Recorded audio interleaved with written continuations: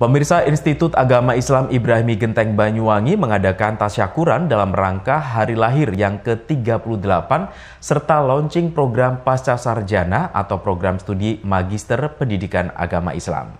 Suasana penuh hikmah menghiasi serangkaian acara prosesi hari lahir Institut Agama Islam Ibrahimi Genteng Banyuwangi yang ke-38.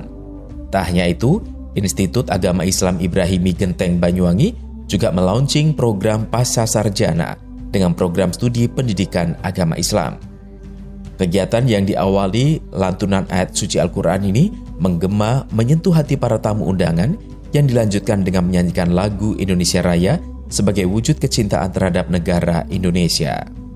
Acara yang diselenggarakan pada hari Rabu 29 Juni 2022 ini dilaksanakan di kampus Institut Ibrahimi Genteng, yaitu di Jalan Kiai Haji Hashim Asyari nomor 1 Genteng, Banyuwangi.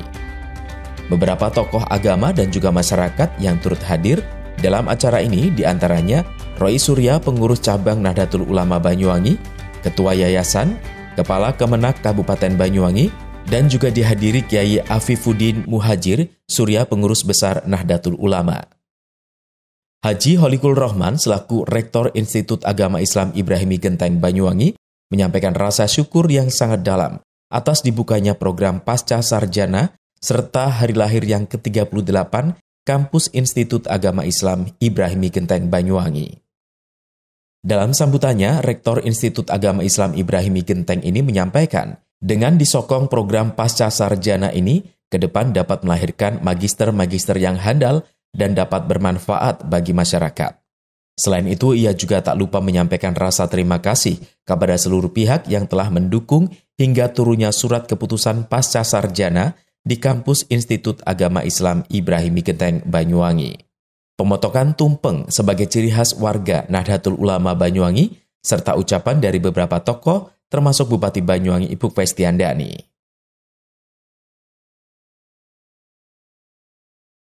Kegiatan tadi pagi kita ngundang Profesor Tip Raya dari Win Syarif Hidayatullah dan Profesor Samsun Niam dari Win Tulungagung. Ada seminar mahasiswa, kemudian ada FGD penyusunan visi visi misi, visi dan misi pasca sarjana. Nah, hari ini adalah launchingnya Harlah sekaligus tasyakuran eh, program pasca sarjana prodi magister pendidikan agama Islam. Acara ini akan terus berlangsung sampai dengan nanti ditutup tanggal 13 Juli. Iya, mulai tanggal sekarang sampai 13 Juli itu kira-kira agenda apa? Nah, agenda yang hari ini karena bersamaan dengan SK itu ditekel oleh rektorat. Nah, besok itu ditekel oleh BEM ada ya pertandingan, ada perlombaan yang bersifat internal, ada yang juga bersifat eksternal. Hari ini pengurus BEM Sebanyongi kita undang untuk untuk itu. Kegiatan itu menyamakan visi setelah acara nanti mereka akan ketemu. Nantinya tepat di 13 Juni ya puncaknya.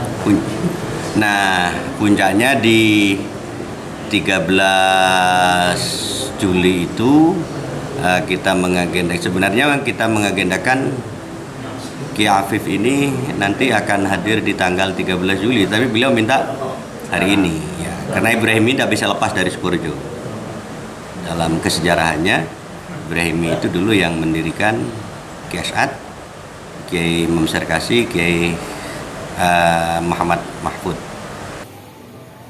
Ya ya. Mudah-mudahan ya dengan usia yang ke-38 dan juga dengan di program pasca sarjana mudahan lebih manfaat ke depan.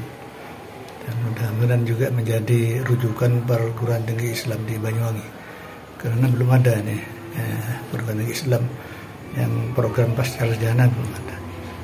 Dan juga eh, apa sehingga mungkin para guru-guru uh, kepala sekolah terutama ini yang belum S2 belum magister ini bisa lanjutkan di sini tidak usah jauh-jauh.